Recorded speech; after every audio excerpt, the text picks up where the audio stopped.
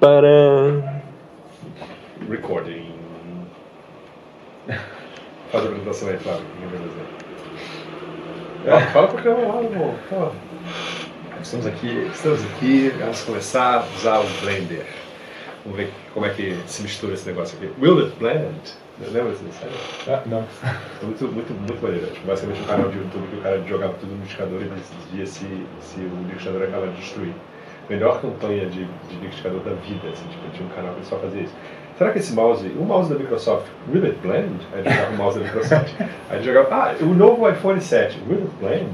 E tipo, ele tinha uma margem, destruía tudo, né? Nossa, o pior que você está falando é um vídeo que marcou a minha vida está relacionado a um liquidificador também, que era. Então, uma vez a mulher botava tipo uma língua.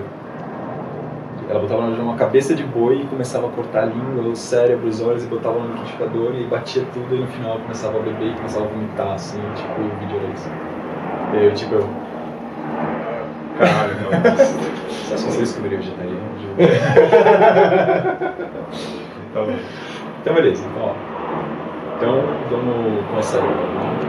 De...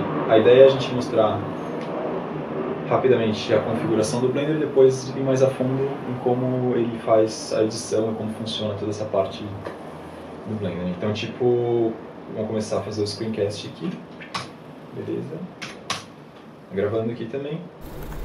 E aí aqui então, estamos no site do Blender Velvets, onde estão os plugins do Blender. É, normalmente a gente baixa o Blender. Ah, eu sei. Blender.org direto. Blender.org direto. Então, essa versão aqui do cara fazendo um super. Né, que é traumático. Todas as outras versões são muito mais bonitas, feitas com animação, mas essa particularmente é muito feia. Você baixa o Blender aqui, ele vai vir num pacotinho aqui, então a ideia é sempre extrair esse pacote. Do pacote extraído, ele vem aqui o binário ou o executável, que na hora que a gente abre ele já funciona do zero. Então a ideia aqui nesse primeiro momento é a gente mostrar como mudar essa interface Uhum. para ela ficar mais adaptada para edição de vídeo e depois a gente vai pegar os plugins do Blender Velvets, vai baixar, ele vai dar a ideia, vai cair no GitHub e tal, vai puxar daqui e com eles a gente vai transformar o Blender num editor de vídeo um pouco mais é, fluido para o que a gente quer. É, porque o que, o que abriu aí não é um editor de vídeo, é um, é um programa de fazer animação em 3D, né? Exato. Então, o Blender, normalmente essa é a parte que a galera se assusta no Blender, você abrir um negócio 3D.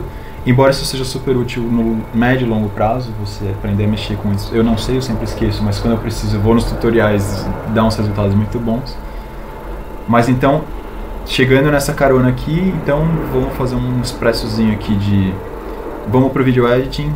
Nesse video editing ele já começa a ter uma cara mais de editor de vídeo. Sim, tem a timeline aí e tal. A nossa ideia é usar uma interface modificada do Blender. Então a gente vai chegar nisso um pouquinho depois, mas o primeiro passo é dar uma configurada geral para que ele comece a ter cara de editor de vídeo. Então aqui, por exemplo, ele está sem mostrar o- os frames e tal, e está com um monte de coisa que a gente não sabe o que é ainda. Então a gente estava comentando da outra vez, no outro vídeo que a gente tentou gravar, não deu certo. Mas tipo, o Blender sempre funciona com várias janelas que vão sendo ativadas aqui conforme você passa o mouse nela. Então todos os atalhos que a gente está fazendo de teclado, eles se referem a essa janela específica que ele está iluminando aqui.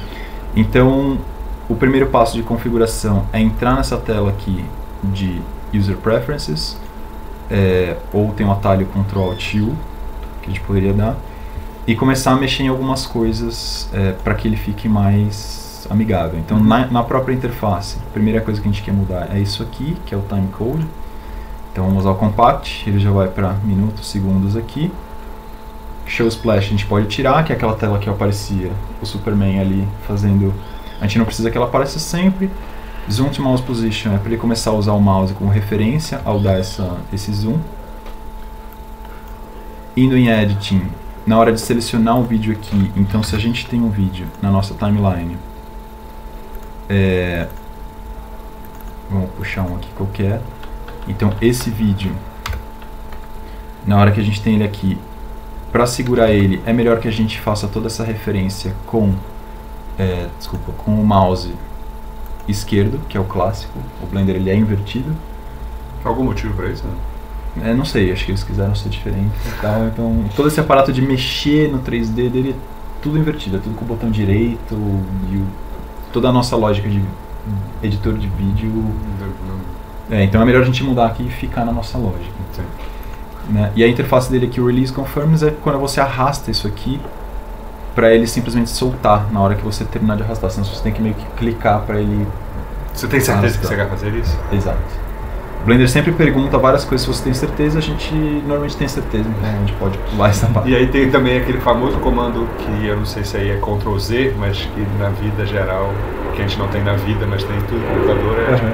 dá uma desfazida aí, deu errado, eu arrastei errado, aí você dá um, um undozinho e volta. Volta, volta. Ctrl Z. Ele- é, ele- esse, esse ele não confirma, esse ele faz. Esse ele faz, né? É, é. é. Tem certeza que você quer voltar nisso? Então temas a gente não mexe, o file é, eu só costumo tirar esse Save Preview Images porque me parece que ele ocupa menos memória RAM Uhum. conforme a gente está fazendo. Pode aumentar um pouquinho isso aqui que é o tempo que ele vai levar para salvar os arquivos temporários. Fica a critério de cada um. E no System a única coisa que eu mudo aqui é o áudio para 16 bits, porque normalmente a gente não mexe com áudio acima de 16 bits. É, e nessa interfacezinha aqui, a gente pode mudar a interface para, por exemplo, outra língua. Se fosse usar português, por exemplo, ele estaria aqui. Então, na hora que a gente clica aqui, ele já muda tudo que a Sim. gente quer, as dicas, os novos dados e tal. A gente não vai fazer isso, mas só para saber que existe. Uhum. Muitas pessoas pedem isso ou sentem falta disso. E uma vez que a gente termina aqui, a gente pode salvar o User Settings e fechar. Ele já é um começo de, de configuração já bom, que já começa a estar mais próximo do que a gente quer. Legal. Nessa telinha aqui, a gente vai tirar ela por conta dos Blender Velvets. Ela vai ser uma tela inútil, porque ela que controla, na verdade, essa barrinha aqui, que é na hora que a gente dá play. É, ou melhor, como a gente não instalou aqui o play por enquanto ainda é Alt A. né, ele, é um, ele é um play cruel assim, então a gente vai mudar isso por espaço. Musiquinha bonitinha e tal. Mas ele voltou no loop aqui do começo do vídeo, tá vendo? É, que essa coisa de loop é bem de programa de edição 3D mesmo, né? Porque de edição, meu amor, se tá na timeline, eu quero ver tudo. Exato. Então, É. tipo, a gente botou um atalhinho ali que é isso. Ele vai fazer, basicamente, considerar, tem na timeline e amplia pra tudo que a gente quer. Sim. Pra ficar, mas é um atalho que a gente vai sempre ter que ficar usando ele. assim. Mas ele fica tão automático que uma hora você já bota um arquivo, você já dá Alt e ele já vai... Tá? Mas normalmente quem controlaria essa tela, essa, essa parte aqui do Blender, é a única coisa que importa, que é esse aqui para transformar em AVSync. Tá. ou seja, para o vídeo acompanhar o áudio. E, e ele vai estar, na verdade, aqui, na hora que a gente mudar a interface do Blender. Então, tipo, Tá. isso aqui eu já posso comer essa tela para cá, para gente ganhar espaço na timeline. Uhum. Comentando essa função do Blender, sempre que ele vira um maisinho, a gente pode duplicar a tela aqui e transformar ela em várias outras coisas. Então, Isso é muito louco. Eu, eu, eu imagino que isso tenha várias funcionalidades, mas que agora no momento eu não consigo pensar em nenhuma. Sim. então a gente pode voltar nisso mais pra frente, mas ele tem, né, tem a utilidade, por exemplo, de você. Eu acho que a mais útil, por exemplo, é você jogar para um segundo monitor isso aqui. Ah, Isso é super legal. Então, se você trabalha com dois monitores, você pode deixar, por exemplo, o monitor ou a timeline separados, Separados, sim, e é ganhar espaço de. Ou mesmo, se a gente tem vários vídeos aqui, a gente pode transformar essa tela aqui, sei lá, para ver cada uma em um canal diferente. Então, na hora que a gente está vendo esse vídeo aqui, a gente eventualmente duplicar aqui e ver cada vídeo de um canal diferente para, sei lá, sincronizar câmeras diferentes e tal. É, editando um showzinho da né? multicam ali. Multicam, então tem um efeitinho de multicam massa ali que você só pelo atalho você escolhe a câmera que você quer, então é bem útil você ver o que está rolando em todas as câmeras. Show. Então isso, isso é algo que confunde também as pessoas bastante, elas normalmente criam várias telas aqui sem saber o que elas estão fazendo. e fica tipo um milhão de elas falando, "Meu, como é que volta? Ah, fecha isso, pelo amor de Deus. Então, finalmente, antes de voltar aqui, a gente vai. O Blender ele tem essa tela aqui, que é a tela de propriedades. Normalmente o atalho é o N, pra gente tirar e pôr, que é esse Uhum. maisinho aqui. É, então a gente vai usar tudo que está aqui relacionado a vídeo. A gente, na hora de mudar a interface, ele vai começar a aparecer aqui para ficar mais fácil e para a gente ganhar espaço de timeline aqui. Então, por enquanto, em termos de configuração, é isso, antes de instalar os plugins. Certo. Tem mais uma última coisinha aqui que é esse view aqui, que assim, na hora que a gente mexe com o vídeo aqui, por exemplo, no timeline, eu tinha comentado com isso da outra vez, mas ele fechou aqui, se a gente quiser ver esse show offsets, eu acho legal, não é todo mundo que acha, mas é legal porque ele mostra o que tem de Ah, sobra sim. do vídeo. Então isso é bom para você saber que existe mais um pouquinho. Se você quer fazer um corte, precisa de mais um negocinho. Você já sabe, ah, tem, tem ou não tem, preciso ou não preciso de uma imagem de cobertura. Saquei. Eu normalmente deixo isso ligado, acho legal. E a última coisa que a gente vai fazer é salvar essa interface de inicialização. Então a gente vai usar Save Startup File, ou seja, tipo, ele vai me pedir uma confirmação aqui. Porque agora na hora que eu fechar o Blender e abrir de novo, ele vai reconhecer todas as mudanças que eu fiz. No caso, inclusive com o vídeo que está aqui. Depois a gente tira esse vídeo e salva de novo, mas só pra gente deixar ali para saber que ela existe. Então o que, que a gente vai fazer agora? A gente vai instalar a interface modificada e o primeiro plugin, que é o Velvet Goldmine, que vai aí deixar a gente já com o editor pronto para editar o vídeo. E aí a gente entra na parte de mais usabilidade e tal. Sim. Então para instalar o plugin, é normalmente Ctrl T U, é, a gente vai entrar aqui em Addons. E do mesmo jeito que a gente veio aqui e baixou os, os Velvets, é, eles entram na pastinha como um compacto que a gente descompactou aqui. Ele já tem para a versão 278, que é a que a gente está usando agora. E as versões anteriores estão no Vintage, para caso alguém esteja usando uma versão anterior, usa lá e tal. Então, na interface do Blender, o modo como ele funciona, você vem aqui, instalar de arquivo, acha eles aqui nessa navegação, ou seja, no nosso caso, ele está no desktop Blender, Blender Velvets 278, o que eu quero é o Goldmine Tá. que é o que tem os atalhos e tal. Então eu só vou basicamente instalar e habilitar o plugin aqui. Os outros add-ons, os outros complementos, tem uma configuraçãozinha um pouco maior de você instalar o FFmpeg separado, porque eles dependem do FFmpeg para rodar a codificação do arquivo, mas no Blender Velvet está super bem documentado e tal. Se a gente for falar de proxy aqui mais pra frente, a gente pode entrar neles. Tá. É, isso daí é basicamente um, um plugin de configuração de teclado.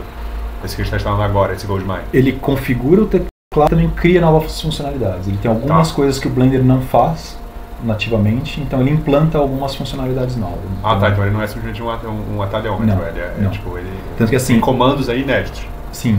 Tá. Tanto que assim, esse o Velvet Goldmine são os comandos propriamente dito. Os atalhos que ele usa, eles estão numa outra configuração aqui, que a gente vai importar, eles são casados, que é os shortcuts. Hum, Tá.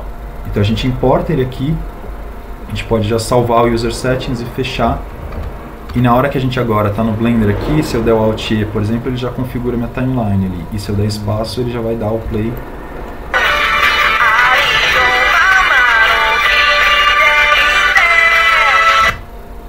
Né? Sim. Massa. Massa. Então essa é a vibe do. A instalação é super simples, super rápida. É, vou dar o Ctrl aqui só pra gente ver que ele vai reconhecer exatamente esse ponto onde eu parei aqui. E vamos agora só mudar a interface, porque daí a gente já fica com a configuração feita. Beleza. Então, a mudança de interface no Blender, ela se dá da seguinte forma. A gente vem aqui no 278, vai pegar esse Space Sequencer aqui, copiar ele e entrar na pasta do Blender que a gente baixou. Tá. E aí tem um caminhozinho aqui, mas que ele está no site mais fácil, que é isso, 278, Scripts, é, Startup, BLUI. Dentro dele existe esse Space Sequencer aqui, que a gente renomeia ele só para ele ficar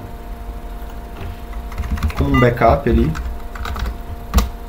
Então o Blender não vai ler mais esse arquivo, ele vai ler esse arquivo novo que a gente vai jogar aqui, que é o Space Sequencer novo, e pronto. Porque o Blender, na hora que ele carrega, é como se fosse uma casa mágica que fosse se construindo as paredes e os teclados conforme os materiais que ele vai se tendo à disposição.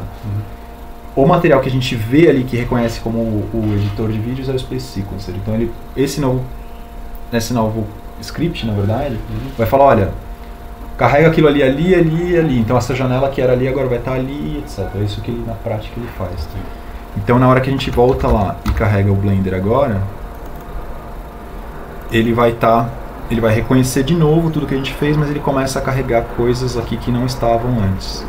Então agora isso aqui já mudou, para quem não está familiarizado, fica não sabe muito bem o que mudou, mas toda essa parte aqui de edição de vídeo agora tá toda aqui. Então posso puxou daqui de baixo, coisa aqui em cima. Mas aqui embaixo continua disponível também? Não necessariamente. Tipo, é porque aqui tem algumas coisas que continuam disponíveis, por exemplo, image offset, image crop e tal.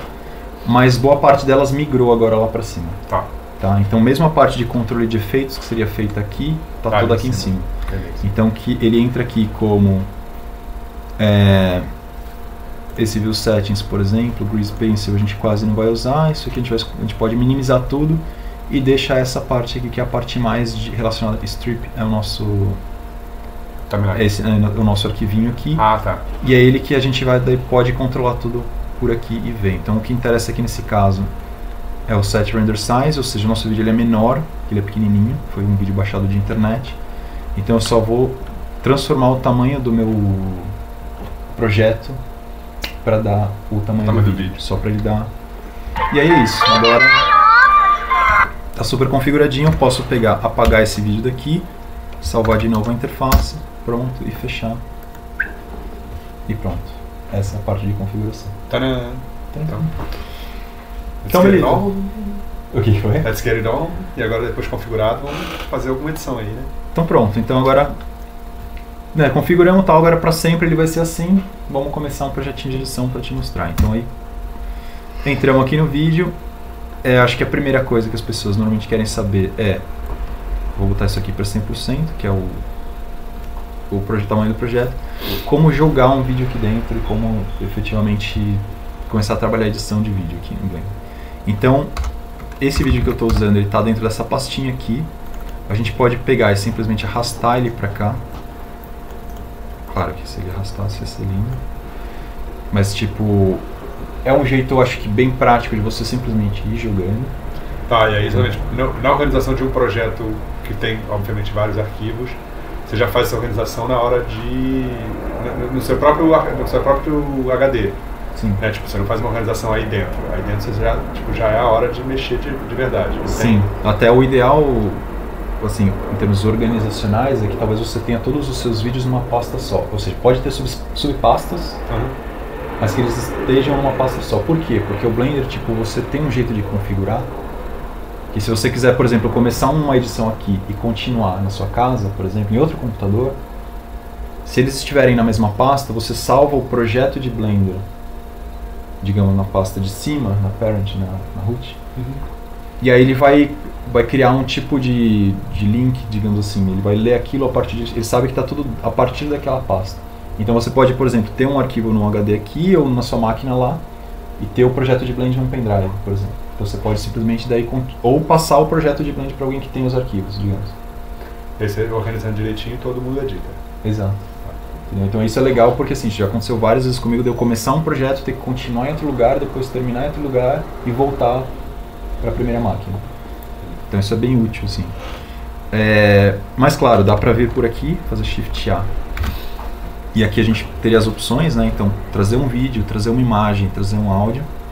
Então a gente poderia vir aqui pelo Move e trazer esse mesmo vídeo para cá, por exemplo, por ali. Isso é bom porque quando você tem vários vídeos é, dentro da, da mesma pasta, se você quiser importar vários vídeos, você poderia vir por aqui, que é algo que você não conseguiria jogar. Então, se eu pegar numa pasta aqui, sei lá, que tem alguns vídeos, tipo, é que acho que todas elas aqui só tem um. Mas Mas, pega- você daria um Shift A ali e ele selecionaria todos os vídeos de uma vez e você jogaria aqui. Então, eles- entrariam todos Um depois do outro. um depois do outro. Tá. Tá, então uma coisa que a gente estava comentando ali é como que a gente faz. Ó, o Ctrl Z funcionando. É, Então como é que a gente faz, por exemplo, que é um clássico, né? Da... Eu vou só duplicar aqui para fingir que a gente tem um projeto de edição. Tá? Então vou começar a mexer nesse. Né, tipo, para fingir que a gente tem uma, uma coisa sendo editada aqui. Tá fingindo que eu tenho já uma edição sendo feita. Uhum. É, então, esses comandos são o que? Tipo, para você selecionar, normalmente você clica aqui, ele vai selecionar os dois. Esse videozinho, em particular, ele tem alguma coisa, o, ele está um pouquinho fora aqui. Esse áudio do vídeo, eu vou só deixar ele do mesmo tamanho. Porque normalmente se o vídeo tá igual, ele, na hora que você seleciona eles vêm juntos. Ah, tá. É, ele Tá. faz o, o, o nesting, não, não é nesting, não, é É o tem um... É, chama, no Blender internamente chama Linked... É... Linked Files. Ele, ele É. é, conecta as duas coisas. Tá, é porque isso é bem útil, né? Tipo, você já tem, você teve uma dificuldade, você precisou sincar. Às vezes eu pego, por exemplo, eu gravo o áudio separado no microfone, no, no microfone do vídeo. Sim. E aí, tipo, eu, o primeiro trampo é sincar essa, essa parada toda. Sim. Faz um... Então- Você sincando, pondo ali, já tá tudo certo. Exato. E aí, tipo, é, algumas coisas então que eu estou mexendo aqui, a gente está falando, mas por exemplo, o Home no Blender ele sempre vai ajustar a coisa à tela, assim. Então ele vai Uhum. ajustar esse, isso aqui aqui.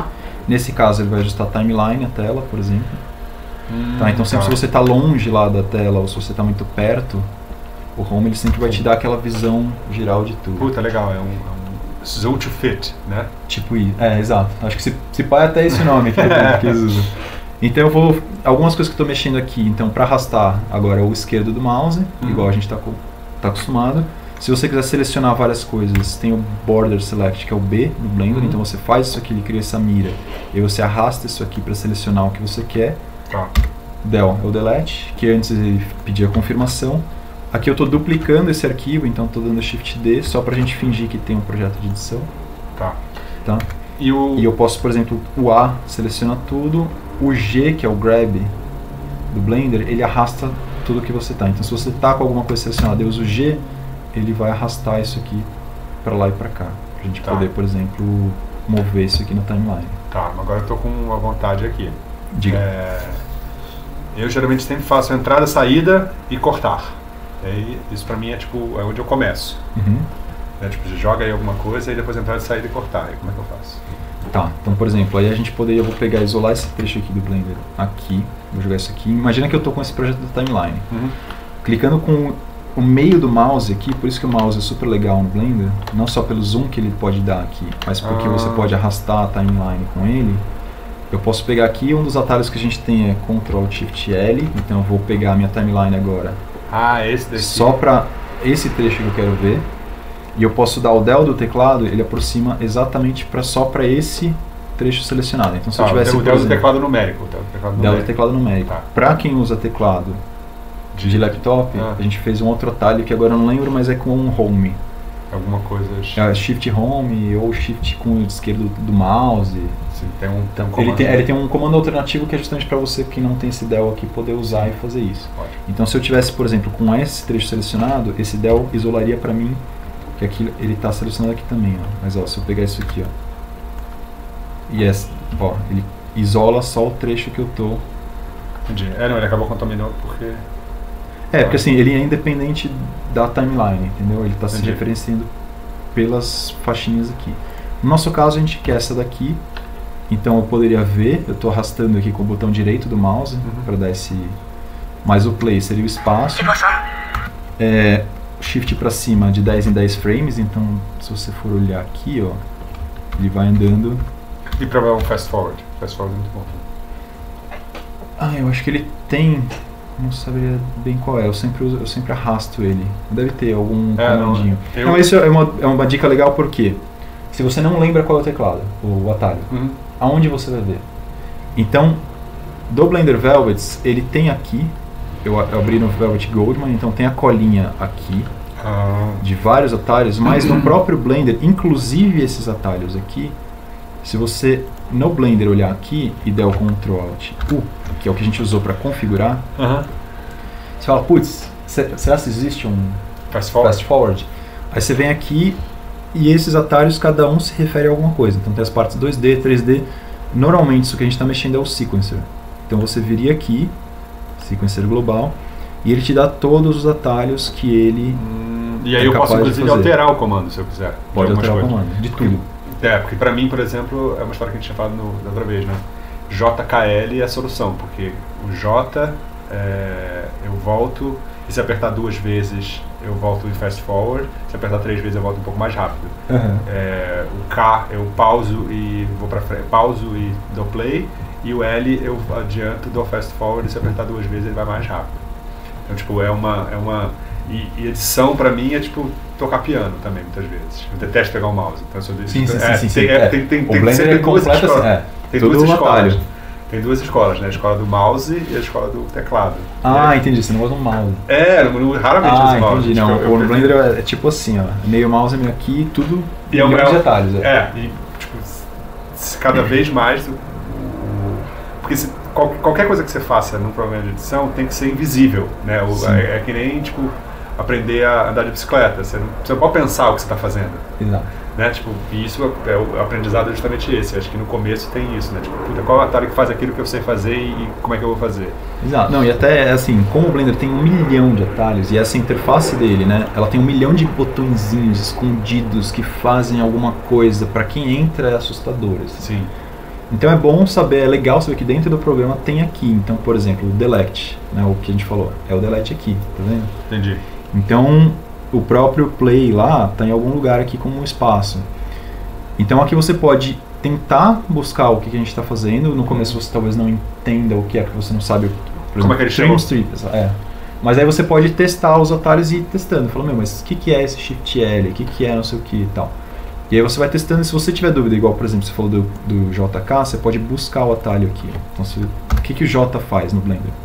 Então ele vai buscar em todas as interfaces Hum, aonde o atalho, desculpa, aqui está como name, né? No caso a gente que é o key binding. que bind.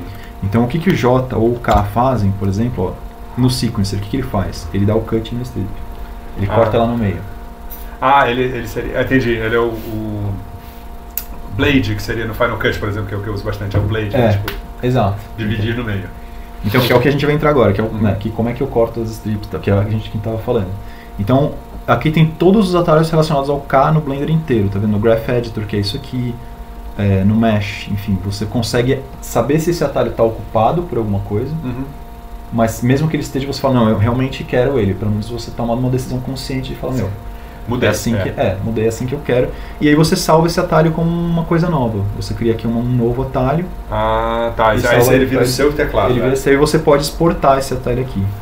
Sim, aí Para que você sempre depois você fala, por exemplo, se ele é um atalho, você está usando os velvets. Você fala, ah, beleza, eu quero espaço, quero não sei o quê. Mas também quero outras coisas. Você usa ele como, como base, faz um derivado dele, então muda as coisas ali e exporta e cria seu, é, né? atalho de uma lacerda, não sei o quê. Sempre que você for usar os próximos blenders, nas próximas versões, você consegue Você importar consegue. esse set de atalhos para você usar. já fica lá. Já fica é lá. legal. E, o- ah, e o Fast Forward, cadê? Vamos ver se a gente acha ele no name lá. Eu acho, boa pergunta. né? É... é que eu acho que talvez ele não tenha esse nome. Tanto que o nome do, do play, quer ver? Deixa eu olhar no, no key binding como é que tá o play. Que é o space, né? Que a gente, space bar. Screen frame sequencer, remove gaps. Play Animation. Play animation, space bar. Então, tipo. Põe qualquer coisa de animation, acho que a gente vai conseguir. Não é o Keybind, né? O É o nome, né? Play Animation, Cast Animation, Play Animation, Play Animation. É, talvez não tenha o fast forward. Hum. Hum. Mas não, mas aí é que tá. Mas isso também entra numa outra questão interessante do Blender. Ah, Os Blender Velvets, eles usam o que? A API do Blender. Ou seja, se você não tem a funcionalidade, você pode criar a funcionalidade. Então cadê essa pessoa que vai criar essa funcionalidade? Então, mas isso é uma questão de das duas mãos. Você aprende a programar, o que para muitas pessoas é irreal. Sim? Mas o Blender ele traz uma outra concepção que é isso de você falar, eu preciso de uma coisa que ele não tem. Então, se eu não consigo aprender a programar no médio prazo, o que na verdade no médio e longo prazo é o que vai acontecer com as pessoas, as pessoas naturalmente, do mesmo forma que elas falam inglês ou Vamos elas vão elas ele. vão mexer em API em tudo, em Twitter, em Firefox, em, em Blender. É, ou você pode entrar em contato com algumas pessoas que fazem isso. Então o Blender Velvets é um, é um complemento, mas tem caras da Espanha que fazem, que tem o Kinoroll, tem os caras do próprio Blender que fazem, sabe? Então tipo é uma coisa de você talvez criar uma relação com esses desenvolvedores e falar, cara, você não consegue fazer isso, fazer um fast forward. O cara fala, putz, isso é super fácil de implementar, eu vou fazer. De repente já até existe, já tem até alguém É, já que tem, fez. Já, já tem que. É, que você tem que buscar. Porque que é, buscar. é isso. Por exemplo, tem edições que eu uso o áudio scrub, né? Tipo, e eu assisto tudo em velocidade duas vezes. Então, mas olha que louco, o Audio Scrub é algo que eu nunca uso. É? Um dia eu tava dando uma oficina e o cara falou, tem Audio Scrub? Eu falei, falei cara, não- e tem. Tem, bom, já, Tem. já, Eu- já, eu não já, sei já tendo tá. mais difícil, Não, e tá aqui em algum lugar, É, assim, é. tipo, eu acho que não sei se é áudio, não sei o que, mas você tem. Na hora que você faz essa coisinha, ele né, fica o áudiozinho. né? É, é, isso, tipo, no Fast Forward, uma entrevista de duas horas, fala, puta, eu preciso assistir tudo isso e selecionar os trechos. Você vai a primeira, a primeira passada, você vai tudo duas vezes. Fica é drenante de atenção, mas você precisa, né? É, eu uso muito assim, de pegar com o botão direito e fazer essa navegação rápida aqui, de tipo, de olhar o que tem. É, porque se você quiser assistir, normalmente eu dou o play e vou, vou olhando. Ah, o áudio aqui, então o atalho agora ficou W com os Blender Velvets, então ele, ele vai dar uma carregadinha aqui, mas ele vai carregar a nossa, Ah, ótimo. a nossa porque daí pra, pra gente fazer os cortes é sempre bom a gente ver essa linha do, Uhum. né, de, de Sound Wave, sound Sound Form, wave. Form, Form, Form. Uma coisa muito legal dessa nova versão do Blender é que antes ele ficava com esse escrito aqui, em cima da, do áudio. Isso era muito ruim. Ah, tá. Então nessa última versão agora do 278 eles tiraram. Então na hora que você vê o waveform ele tira. E se você desabilitar ela, Alt W, ele volta pro, O nominho bonitinho. pro nome bonitinho. Ele, é- o, o áudio é sempre em cima ou você ficou em cima porque a gente ficou mexendo? Ele é meio que sempre. Na verdade, ele não importa, mas por padrão ele sempre carrega com em cima. Tá. Então o Blender é tudo invertido algumas coisas. É. Então ele, ele é em cima e, e é isso. A, a- o verdinho claro é sempre áudio, o azulzinho escuro é o vídeo. Então aqui vamos agora começar a dar uns cortes lá, que é o que a gente queria. Então vamos pegar esse áudio aqui que tá, tá até cortado aqui, ó. Vamos É. ver o que tem. Tem uma ceninha ali em, em, né, em preto ali, vou chegar nela e tal. Pronto, cheguei aqui, achei o pretinho. E aí eu vou dar o K que a gente tinha olhado no atalho lá. Sim. Então o K ele dividiu o vídeo aqui. Né? A gente pode tanto daí começar daí, ah, isso aqui eu não quero mais. Existem uns atalhos no Blender Velvet que na hora de fazer esse K você pode, por exemplo, já comer o lado da direita direita inteiro. Uhum. Então, por exemplo, você fala, ó, eu quero daqui pra frente, você já pode dar um Ctrl Shift K, sei lá, e ele já vai deletar o da esquerda. Tá. Mas tem uma coisa que é mais, talvez, no dia a dia, acaba que você usa mais, que é o seguinte, na hora que você vai dar o corte aqui, aonde estiver seu mouse é onde ele vai selecionar o trecho do vídeo. Então, por exemplo, se eu der o K aqui, repara que o que vai ficar selecionado é esse trecho de K. ó. Hum. Então você poderia já dar um K e um delete, por exemplo. Ah, sim. Saquei. Sacou? Saquei. Mas Então, é ó. engraçado, ele não tem a lógica de entrada e saída. Não. Caralho, muito. Ah, exatamente. Você marca, o K você marca a entrada, o K você marca a saída e depois você deleta. Não, então o jeito como você marca entrada e saída, tem várias formas de chegar nessa mesma coisa. O K é um deles. Tá. Na verdade, ele, você usa ele situações específicas, digamos assim. Tá. Mas o que você mais usa no Blender é assim, você tá com o seu trecho aqui, você tá vendo ali, você fala, putz, eu quero daqui pra frente. Então você seleciona aqui, ele tá sincado, tá vendo? Ele pega esse, esse- essa areazinha aqui, a abinha do vídeo, tá vendo? Do final aqui. E um atalho que é super importante é o Shift S. O Shift S ele chama Snap. Que ele vai pegar tudo que está selecionado e vai jogar no seu cursor ali, que é esse- essa barrinha verde. Então ele vai pegar o S aqui e vai Ah, isso. Então ele é muito útil porque ele serve tanto para fazer esse corte, como para, por exemplo, se você está com ele aqui e fala, putz, eu quero que esse trecho daqui entre aqui, você só clica nele e dá o snap ali. Então ele já vai lá pro. puta. Ah, e aí você faz. E aí. Você não apagou o que você tava, você, você ele priorizou o que tá em cima, então você.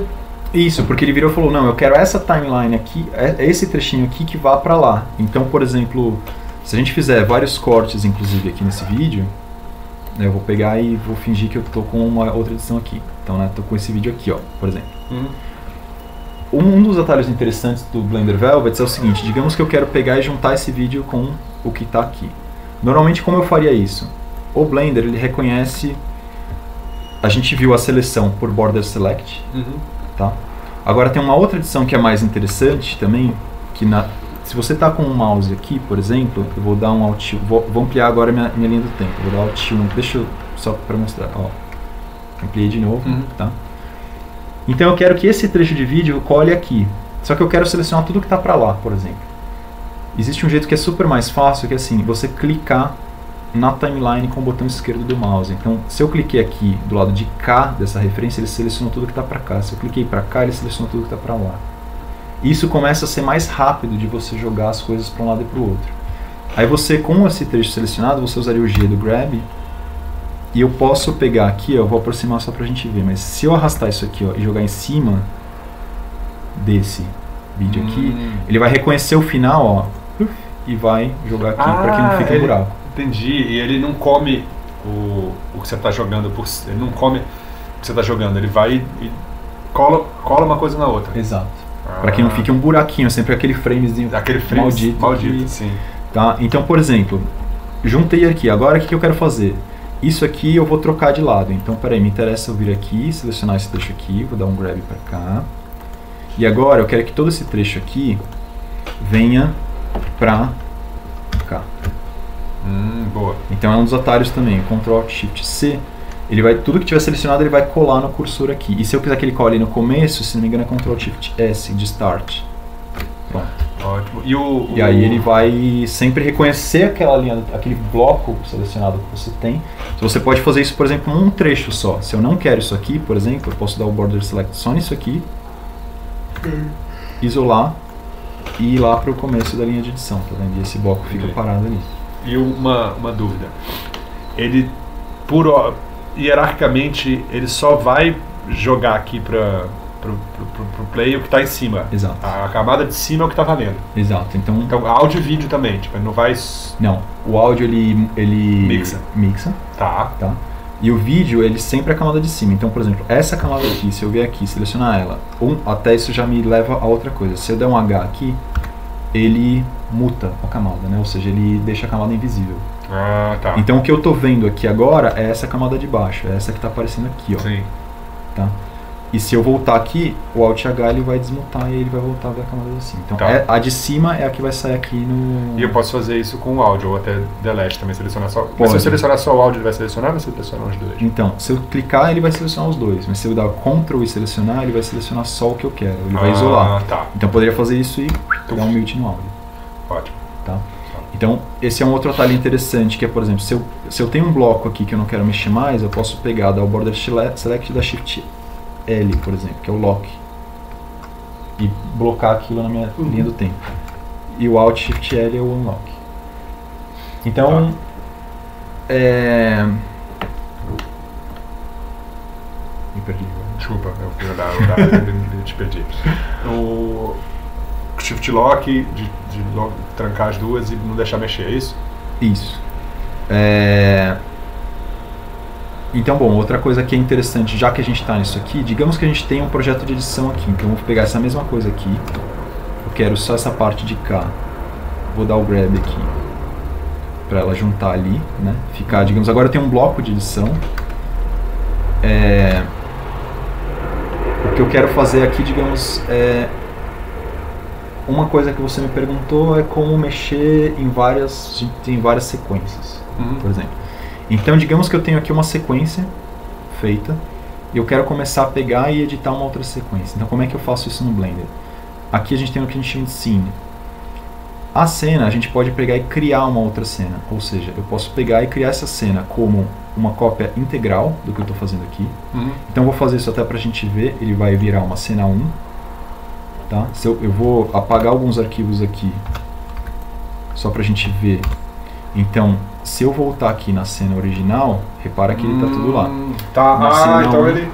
Ele aí já são. Ah, porque era, era uma coisa meio aflitiva pra mim, de tipo, puta, como é que eu faço?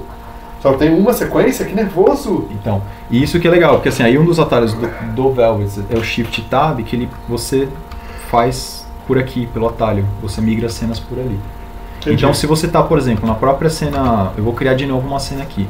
Se eu quero começar do zero, eu posso pegar aqui e só copiar os settings da cena. Então, ele vai copiar o tamanho do projeto, taxa de frame.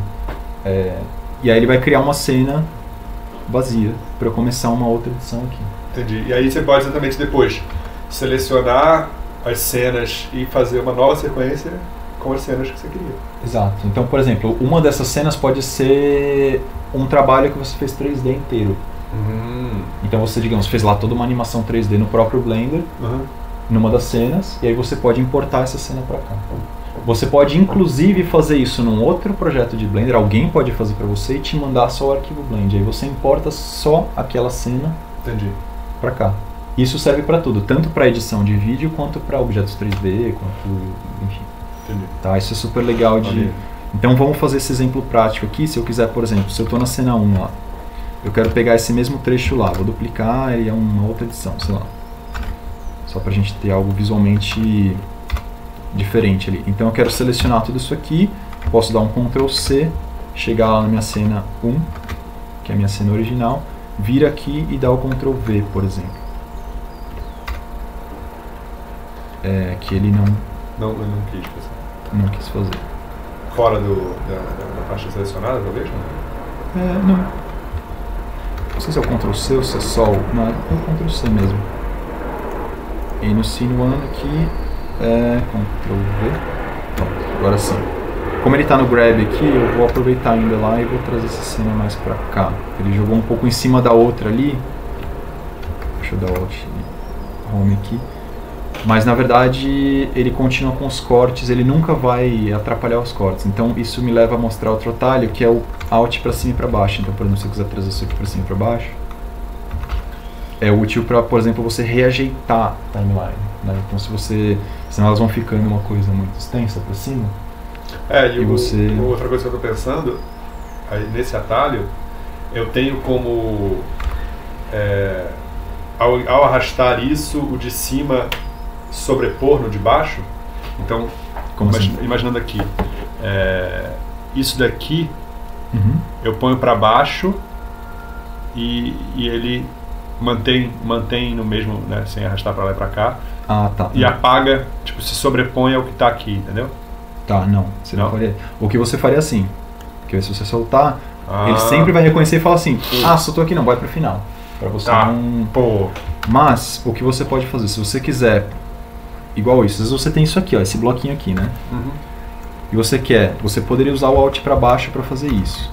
Mas digamos que também é normal você querer fazer isso de alguma outra forma. O Grab, na hora que a gente dá o Grab, que ele arrasta isso aqui, como o Blender é um software 3D, ele também funciona nessa ideia de eixo X e Y. Então- funciona no Z, no, Z. No Z também se for um 3D. Ah, tá. Tá? Como aqui a gente está num 2D, tipo, então a gente poderia, por exemplo, o que você quer é uma é uma a gente quer fazer o grab fixo no eixo Y. Então aí o que, que acontece? Ele não vai para o lado mais. Ele vai agora só para cima e para baixo. Tá, já me facilitou. É. Então, tipo assim, às vezes o Blender tem a mesma forma que você pensa, só que ele internamente funciona diferente. Entendi. Isso é especialmente útil para quê? Então eu vou até entrar já numa outra função, keyframe, para dar fade in e fade out. Então, como você daria fade in e fade out no Blender? Tudo que aparece no Blender aqui que é selecionável, se você clicar com o direito, ele pode é, mesmo isso aqui, ó, linear modifiers, volume do áudio, por exemplo, o pan do áudio, que é a espacialização, draw waveform, o que é ridículo, mas ele também é keyframeável, ou seja, você consegue inserir keyframes em praticamente tudo do Blender. Por exemplo, você consegue inserir keyframe na visualização disso aqui na timeline. Por exemplo, se você quiser dar o, o mute lá, ele faz assim, não, quero mutar e desmutar, mutar e desmutar, na hora que eu dou play, Ah, ele faz, porque assim, internamente ele deixa tudo. O que é inútil nesse caso, mas é muito potente em muitas outras coisas. Então, se eu fosse fazer um fade aqui manualmente, o que, que eu faria? Eu selecionaria um trecho aqui. Deixa eu, antes de keyframe, deixa eu mostrar uma outra coisa, que são os marcadores. Vira e mexe, quando a gente está editando aqui, você está olhando ali, você está inserindo marcadores, que é o M aqui no Blender. né? Então, nesses marcadores, você vai falando, putz, é, aqui eu tenho um trecho importante e eu quero que esse trecho aqui agora venha para esse marcador. Então eu posso navegar pelos marcadores aqui, com o Ctrl para o lado. Tá? Então, se eu quero botar esse trecho aqui nesse marcador aqui, eu poderia fazer aquele Border Select que eu quero. E aí dar o Ctrl Shift C, que é o do cursor, que ele vai para onde? Sumiu, é. Foi lá pra frente, não, não era isso que eu queria. Peraí, volta lá. Eu acho que eu dei o atalho errado. É. Ctrl Alt Shift C, deveria ser isso. Não, ele tá jogando lá pro fundo. Eu provavelmente tô errando o atalho, mas tipo. Ah. É, enfim, às vezes eu esqueço os atalhos que eu mesmo criei, né? Mas que a ideia é essa, que você possa, se usar isso como grab, por exemplo, eu poderia até vir aqui, né?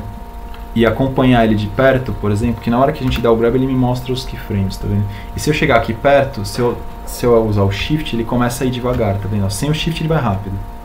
Com Ah. o shift ele vai devagar, ele vai arrastando Ele devagarzinho não tem, tal. teria um comando aí, que você não está lembrando do atalho, de pular direto pro marcador.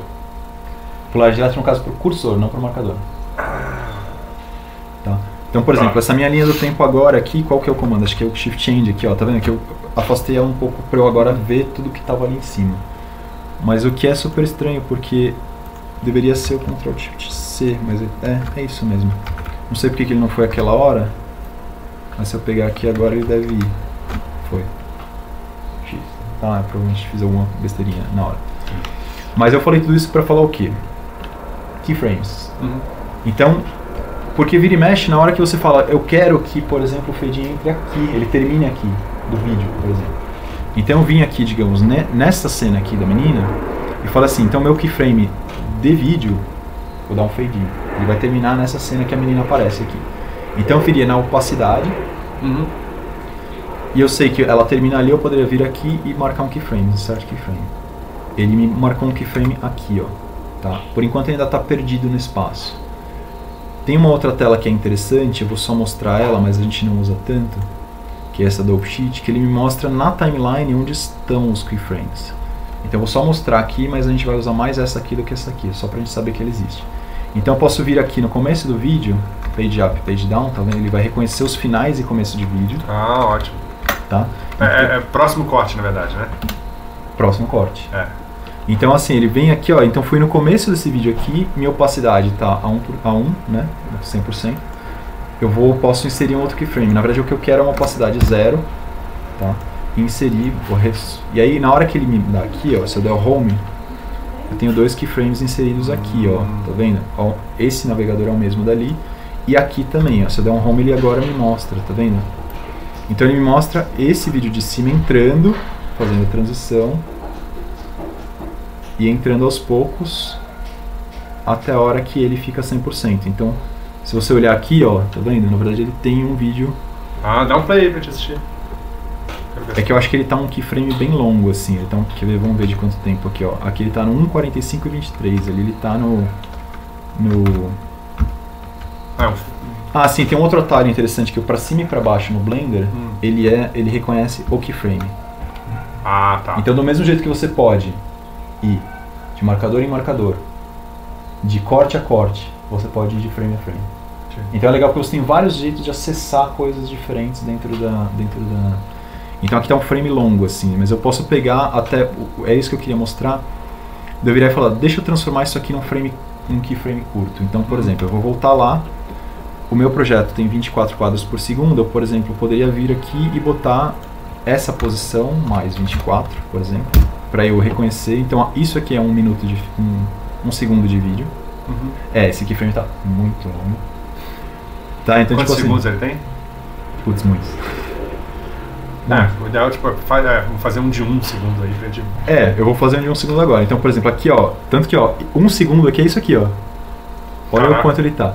Então eu vou usar as mesmas ferramentas que a gente usou. Aqui eu vou usar nessa parte de, de mexer o keyframe. Ah, ótimo. Ou seja, o A seleciona tudo ou deseleciona tudo.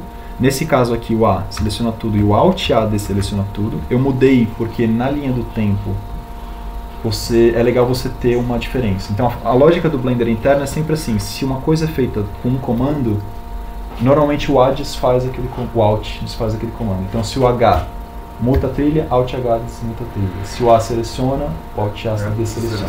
Tá. Então eu tentei seguir essa loja nos, lógica nos Velvets para fazer isso. Então aqui eu vou voltar de novo, ó, tá vendo que quando eu seleciono a minha strip, né, aqui no caso, se eu selecionar só de áudio, ela não tem keyframe, a de vídeo só tem. Então aí, aí que ele mostra. Então eu vou pegar o que? Eu quero só isso aqui. Eu posso dar o mesmo border select que eu dei lá atrás e selecionar só esse keyframe aqui e dar o mesmo shift S, que é o snap, para fazer com que ela entre onde está o cursor. E aí se eu der o home, ele vai me mostrar isso aqui, mas agora a diferença é que isso aqui Tem tem um segundo. um segundo. Ah. Agora vai dar pra gente ver esse... essa transição. Olha! Fusônio! Não, e o legal é que ficou um... É, Ficou dramático, assim. Ficou dramático. Ah, então fazemos aí uma fusão. Então, o que o Blender Velvet traz de novo em relação a isso, se eu pegar aqui e apagar esse keyframe, vou apagar eles do do nada. Então eu tenho. É, ele tem já automaticamente um atalho aqui que é o Ctrl F ou Alt F. Nesse Uhum. caso, o Ctrl porque ele está do lado esquerdo e o Alt porque ele está do lado direito. Então, Ctrl F ele vai botar o keyframe de fade in, ou seja, do lado esquerdo da, da strip. Então, essa mesma strip que a gente está mexendo aqui, se eu der um Ctrl F, ele já vai pôr o, o in e out de um segundo. Hum, tá. Porque isso assim, é um clássico. Em todo o negócio que você vai querer, você vai querer uma transição, às vezes de um segundo, mas se você quiser ampliar, aí você usa as nossas ferramentas. Então, digamos que eu queira ela uma transição um pouco maior, eu queira que ela entre aqui. Então, eu posso vir aqui, achar o meu cursor ali, e daí mexer, fazer as- a mesma coisa que eu estava fazendo. Então, posso dar o grab aqui e usar o meu grab famoso aqui, ó. E aí, aqui nesse caso, eu quero que ele fique no eixo X, a limitação para ele não ir para cima nem para baixo, ele só ir para o lado e para o outro, porque eu não quero, digamos que esse esse fade seja de 0.5. Hum, falo, cara, é isso, eu não quero mais do que isso. Então, se você mexer ali e for mexer aleatoriamente, você vai perder essa referência. Então, você fixa ele no eixo X para ele não. E você, esses mesmas coisas de keyframe, eu também posso ter keyframe de áudio. Sim, E aí você faz de volume de áudio. de- E aí o fade fade out normal e. Mesmo esquema. Então, por exemplo, a mesma coisa se você quiser que essa, essa, digamos aqui, o offset do vídeo, ele é uma mexida do vídeo para lá e para cá, tá vendo? Uhum. Então, se você quiser animar isso, então, por exemplo, esse mesmo vídeo aqui, ele vai começar no zero. É, vou inserir um keyframe aqui, a mesma lógica, e vou querer que mais pra frente ele vá, sei lá, até o meio do... ou saia completamente. Tá? Então, posso inserir de novo um Aquele keyframe. fade, tipo. É, tá vendo? Então, aqui na hora que eu der o play... Olha. Ficou super dramático, com esse grito ainda. É. tipo. Então essa é a ideia do keyframe por trás do Blender. Assim. Tudo, tudo em tese animado, animado assim. Tipo, você... É, isso daí já deu umas ideias de, tipo. né, se você for dar o flip do vídeo famoso, eu vou, eu vou limar esses keyframes aqui só pra gente ter eles. É, então vou voltar o meu off aqui pra um. É, um, que no caso. Talvez não. Pô, É, ah, não, talvez não porque o meu offset tá aqui, então ele está fora da tela, por isso que eu não tô vendo. Mas É, sim. Se eu quiser, por exemplo, dar o flip aqui, fazer isso ser animável, por exemplo, eu poderia fazer isso. É Uhum. que esse no caso é binário, né? Ou ele é ou não é. Mas você poderia definir onde estão os keyframes binários para que Sim. ele dê um. Sim, sim. Tá? Ah, bem legal. Então acho que essa é uma, já dá uma visão geral assim do que ele Sim, faz. das potencialidades, e acho que aí é só com mão na massa mesmo para ir entendendo e, e fazendo, e acho que é, próximo capítulo pode ser como sair daí. Na verdade, vamos sair daqui, essa, porque acho que isso é uma boa finalização, talvez. Tá. Não sei se tem algo mais que eu esteja lembrando ou não, só pra gente antes de sair. Só dar uma olhada rápida aqui no que ele faz, mas eu acho que. Ah, sim, tem uma coisa que eu preciso mostrar que é super legal. Eu vou mostrar e aí eu acho que a gente fechou. É, que é, eu esqueci de falar, mas isso é super legal. A gente falou das cenas, né, de você ter várias cenas aqui. Eu posso inclusive apagar essas cenas únicas, eu posso pegar, apagar ela daqui e tirá-la da minha da minha série. Ela agora eu vou ficar só com a cena que me interessa. Né? Tô no final do meu projeto de edição. Não faz isso, deixa as outras cenas, precisa ter memória. Então, você pode ter memória, o que é ótimo. Ah, É, mas uma, uma dica que a gente sempre dá é assim: salve o mesmo projeto com nomes diferentes ao longo da sua edição. Por quê? Digamos que por qualquer motivo ele seja corrompido. Se você salvar, por exemplo, você está começando lá, começo de edição, depois de um tempo você fala cortes iniciais feitos, sei lá, ou projeto 1, projeto 2, Hum, porque tá. o arquivo blend é muito leve. É só um arquivozinho de texto, né? É, então eu vou até salvar para mostrar, então não mostrei, uma boa. É. Então, eu vou salvar aqui, é, save, é, vou pegar aqui no meu próprio projeto. O que eu estava falando lá, se eu salvar, ele, meus vídeos estão nessa pasta de vídeos aqui, eles não estão mostrando porque ele está com filtro, né? Então, se eu Uhum. tirar o filtro, ele me mostra os vídeos aqui. Se eu salvar nessa mesma pasta, por exemplo, sei lá, projeto 1, vou salvar aqui e vou te mostrar que ele é um projeto super leve, com 400 KB. Então, ele Nossa, é é. fácil de você mexer e jogar para lá. O interessante que eu estava dizendo é que assim, esse mesmo projeto, na hora que ele referencia os vídeos, ah, isso é uma coisa que a gente não falou. Uhum. Onde estão esses vídeos? Eles estão aqui, ó. Então, se eu estou clicando nesse vídeo aqui, ele me fala aonde está o caminho para esse vídeo. O que é interessante. Aqui, tá vendo que tem vários pontos aqui, ó? Sim, sim, é o caminho completo que ele está omitindo o começo, é isso? Isso, na verdade a gente chama isso, existe uma diferença no Linux que é o caminho absoluto e o caminho é, que é o Relativo. relativo. No caso é o caminho relativo, ou seja, ele está virando e falando assim: a partir dessa pasta estão os meus arquivos. Ah, tá. Então, nesse caso aqui, é, tem uma coisa aqui que chama use acho que é preferência, se não me engano, file, caminho relativo. Se eu mudar aqui para caminho absoluto, ele vai me dar o caminho completo do vídeo. Tá? Mas o caminho relativo basicamente diz aqui, ó, a partir disso aqui é o que estão meus vídeos. Então, por exemplo, eu poderia pegar esse mesmo, ou essa pasta onde está tudo ali, é que daí eu precisaria da pasta e jogar na mesma pasta lá. Se ele estiver fora da pasta, eu posso jogar ele e a pessoa que tiver a pasta joga fora e tal, enfim. Mas eu poderia re-referenciar ele aqui, caso eu precise mudar de nome ou qualquer coisa que aconteça. Ou no caso da edição em proxies, a gente faz isso aqui, isso aqui o script faz automaticamente. Mas seria mudado o proxy que está ali, resolução menor, eu quero agora referenciar ele para resolução maior. Você iria aqui e clicaria, ah, agora quero que você referencie para esse arquivo de resolução maior. Entendi. Aí você sa- salvaria é, os arquivos embaixo numa pasta, os arquivos em alta em outra e muda. É, na verdade o, o Velvet Revolver que faz isso, ele faz na mesma pasta. Ah, tá. mais fácil. Porque daí na hora que ele roda o script, ele reconhece o que é proxy e o que não é e ele já referencia automaticamente. Então você consegue, tipo, fazendo essa edição. É, eu falei tudo isso para mostrar o quê? Se você quiser, às vezes você tem um bloco de edição aqui que você quer deixar ele de uma forma mais simples. Você, ah, se você quer botar um efeito, por exemplo, no Blender. Então só para mostrar como põe efeito, então seria o Shift A aqui, Effect Strip. E aqui tem os efeitos que a gente põe, então mexer com a velocidade do vídeo, Uhum. mudar a cor, ou fazer um transform, que é essa coisa de mexer com ele para cima e para baixo, fazer um zoom, scale estaria aqui.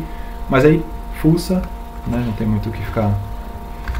E se eu quiser que esse trecho aqui vire uma coisa compacta, tem um comando dele que chama Ctrl G, que ele formata isso. Ah, Isso isso, é daí era, era um pouco do que eu queria, porque me começa a me dar neurose essas coisas de ah, altura do projeto com várias coisas. Exato, então tipo assim, é, eu falei que era importante porque é isso, que é uma parada que todo mundo quer e vira eu esqueço de falar.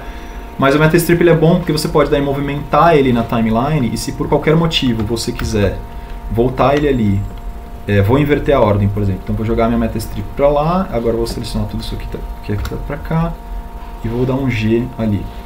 É, até inclusive um comando legal que tem aqui no Blender é o backspace, que ele vai pegar tudo que tá lá no final, tá vendo? Ah, e grudar no, no último e grudar no último. Então isso é Ótimo. legal também que ele E o, o- aí se eu quisesse reeditar essa metastrip, você Alt G, que é o, a inversão da MetaStrip, ele reabre o puta, isso é maravilhoso, é maravilhoso, maravilhoso. Porque é, é isso, você tipo. Você quer ficar fácil de mexer as suas edições. Você tem milhares de cortes, ajustes e tal. Puta, Sim. virou um negocinho. Só que ao mesmo tempo você não quer perder a referência disso, né? Um- Exato. Tem o, o, o, o- Final Cut, por exemplo, faz uma sequência que ele chama de sequência nested, né? Ele anima Nested se- sequence, sim, é, sim, ele sim. anima uma sequência na outra, só que ele perde referência com o arquivo original. Uma merda. Então, o Nested Sequence no, no Blender seria o uso de outras cenas, igual eu mostrei. Você criaria uma outra cena, você poderia importar aquela cena pra cá. Como um Com um Shift A na hora que você põe como aqui, meta ó. strip, a cena pode ser um outro meta strip. É, quer ver? Vamos ver se. É, eu não sei se já tá. Ele funcionava pra 3D.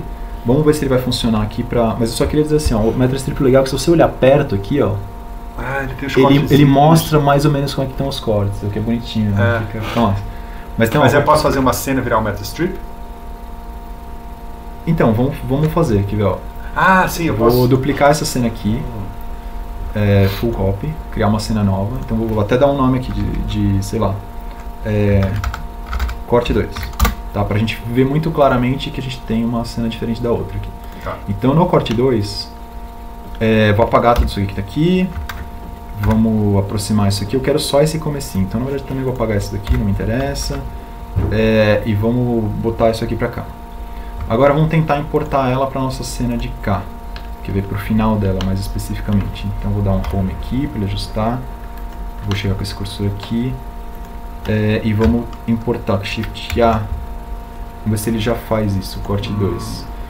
Ele importou, mas ele importa como objeto 3D. Então eu não sei se isso já está habilitado no Blender. Acho que é uma demanda que tem dele importar essa cena. Eu acho que já está e talvez eu não esteja sabendo fazer. Mas ele tá vendo, ele tá É, puxando. o que eu imaginei é assim, eu quero. Ele deixa. Você junta várias coisas, eu quero editar, eu entro na cena, edito na cena ele já adequa ali no. Sim, então provavelmente essa importação faz isso. Provavelmente aquele bloco ali, na hora que importar, ele faz isso. Eu tenho quase certeza que foi implantado, mas enfim, fica a dica só pra galera. A última coisa que eu vou mostrar então é isso, como finalizar o projeto. Tá. Tá? Então essa telinha aqui, o legal é que ela pode mudar para várias coisas. Então tem o terminal, se você quiser, por exemplo, Ah, mexer aqui, Raramente quero terminar. raramente vai querer. Objeto 3D, aqui é o próprio Coisas de keyframe. de keyframe e o F7 aqui, isso claro, a gente pode mudar mexendo aqui, né? Uhum. Igual nesse caso a gente mudou aqui e mexeu para essa telinha que é o Properties, tá? Tá. O Properties te dá o que? Você pode renderizar um frame específico da sua animação, que é esse render aqui, e a animação que é normalmente que a gente quer, que é esse isolamento que a gente tem da timeline aqui, ó. Então, por exemplo, se a gente quer só esse trecho aqui, que a gente quer isolar, ele vai dar o render só nesse trecho aqui. Se a gente quer ele inteiro, aí ele vai me dar o trecho é, total do projeto. Entendi. Tá? Então aqui o que é importante de saber é aqui, ó, isso aqui é a porcentagem, então ele vai me renderizar ao tamanho integral do vídeo ou não. Uhum. Tá? Normalmente a gente quer 100%, é, porque se a gente for quiser uma resolução para um render mais rápido, a gente vai usar proxy, mais do que esse render aqui.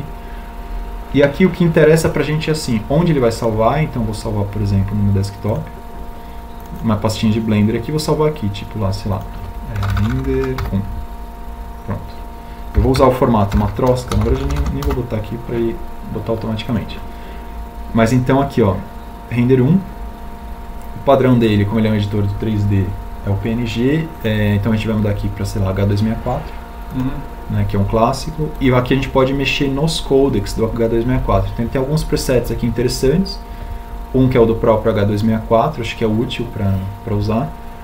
O formato aqui, eu normalmente boto como matrosca, Tá. Matroska é uma, uma extensão MKV que eu gosto muito, ela é uma extensão aberta bastante útil. Assim, e é bom porque eu acabo diferenciando isso de outras coisas. Porque normalmente uma Matroska é pouco usado assim, de coisas que você vai baixar Ah, na internet, sim, e as sim. câmeras não gravam em Matroska. Então é bom porque eu sei que é um render meu, assim, mas, mas é porque o codec é bom mesmo, não é por, por conta disso. Mas daria para ser um H264. O áudio, normalmente a gente quer um AAC ou um PCM. Então, o AAC é um formato que normalmente ele vem junto com o H264 É, comprimido também? comprimido e o PCM seria o não comprimido. É. Tá? É, existe a possibilidade de renderizar tudo isso como, como imagem aqui, então, por exemplo, como TGA ou JPEG, enfim, Fazer um baita image sync sinistro. é, um TIFF ou um Targa, por exemplo, e aí ele leria, na hora da gente importar aqui, a gente importaria como image. Se você selecionar todas as imagens e botar, ele vai trazer um stripzinho coloridinho aqui, rosinha, que é a imagem, mas ele vai Tá. tratar como se fosse um vídeo Ótimo. a 24 quadros por segundo. Então dá para exportar dessa forma também. E beleza, uma vez que você configurou aqui, você viria aqui no botão de render de animação ou Ctrl F12. Então aqui está uma super animação gigante, eu vou renderizar só um trechinho pequenininho. Pra gente ver, então esse trecho aqui, se eu olhar aqui, ó, ele já é um trecho de um bastante grande, eu quero menor ainda do que isso, eu vou fazer um corte super pequeno. Só pra gente ter uma um render pequenininho. Então na hora que eu seleciono aqui, ó, ele me dá o tamanho dessa duração do vídeo aqui, que ele tá com, é, se eu mexer aqui, se eu não me engano ele mexe ali, ó, ele tá com agora 6 segundos e 12. Uhum. Tá, então eu vou fazer esse render ali só pra gente ver que é esse trechinho aqui. É,